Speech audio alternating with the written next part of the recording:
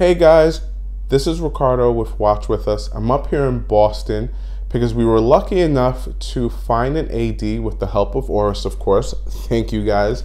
That has the new Pro Pilot X that they just released. Um, if you're not familiar with the watch, it's a 44 millimeter titanium cased with a titanium bracelet watch, which has a 10 hour power reserve caliber 115 movement inside of it. It's a big release for Oris. It's been all over Instagram.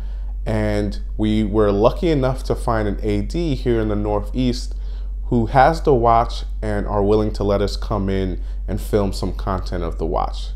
So I'm on my way to that AD. Want to say thanks, of course, to the AD, which is Lux Bond and Green. You guys are amazing. Thank you for allowing us to do this.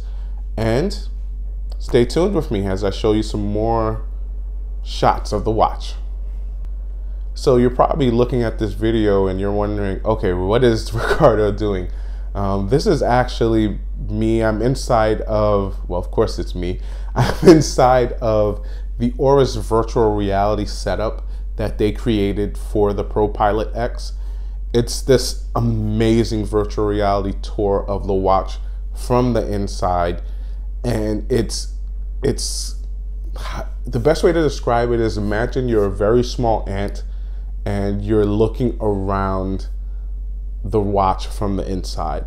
So you're looking at the barrel, you're looking at the gears, you're looking at the pallet forks as they're go as they're going back and forth in action. And, and literally it feels like you'd reach out and touch them. Imagine a pallet fork that's about five times your size and you're just watching it click away as it's it's going back and forth. And this is just it was a cool experience. Um, whoever at Oris came up with the idea of doing this bravo because it was just an amazing extra to add to the reveal of this watch. Now I also of course the main thing I went there for was to get some really nice shots of the watch um, so you guys could kind of get to see more of the intricate pieces and parts of the watch. Um, it's a beautiful watch. Um, it wears, I'd have to say, for my seven and a half inch wrist, it actually wears pretty well.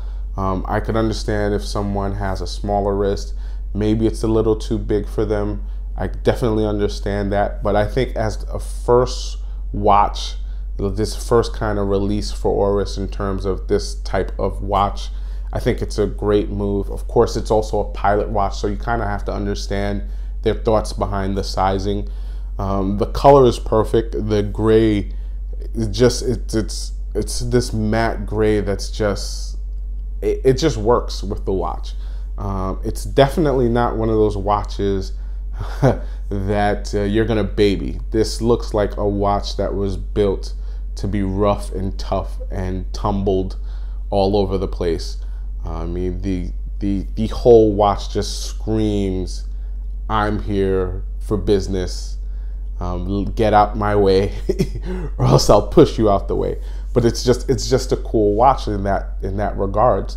Uh, another thing I really liked about the watch was it's really thin. Um, it's actually I, I took a, uh, some shots of the watch next to my Tudor black base steel and though it wears larger than the Tudor, it actually fits a little bit better because it's thinner than the Tudor. And it's, it's, it's actually really nice on the wrist. Um, another cool thing about this watch is I know recently we've had some uh, all titanium watch, well, a all titanium watch released, which I could only imagine is super, super light and almost feels like it's not there on the wrist. The cool thing about this is you get that lightness of the bracelet and the case, but there's just enough weight in the watch head that just I know it's it's comforting on the wrist. It, you feel it there. It's light, but it's not going into thin air light, which is cool about the watch. Um, and finally, just overall, the watch just uh, the skeletonization of the watch, if that's even a word, is just so cool.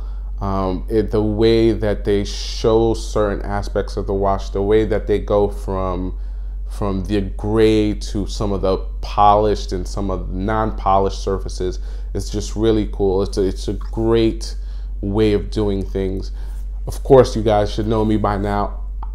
I wish there was a date on the watch, but I completely understand why there isn't. I mean, if you stick a date wheel on this thing, it blocks out all that nice skeletonization that you worked for. Um, though, with that being said, I'd love to see this watch one released down the line in maybe a 41 or even a 42 millimeter case. Um, I'd love if they did a titanium dial with a big date. I think this type of watch, it would kind of work um, just running through my mind.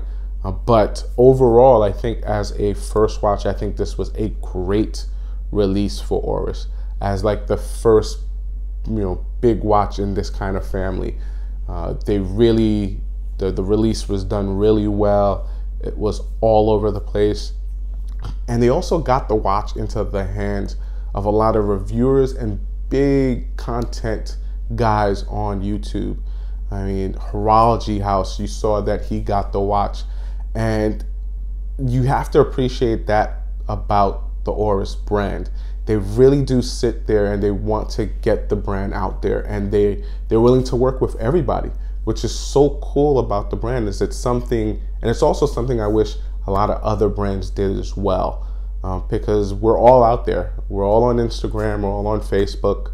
Um, there's some of us creating some amazing content. And Oris just dives in and they really just say, here, here's something that we just spent years working on. What do you guys think?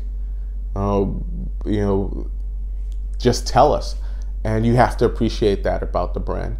So with that being said, when you take all of that into when you when you take it all in, honestly, I believe this was just a great release for us.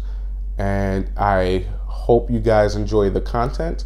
If you guys have any comments or want to know anything more about uh, the time we spent with the watch or have any questions, comment section right below. But um, I hope you guys enjoyed it once again and see you guys soon. Bye, guys.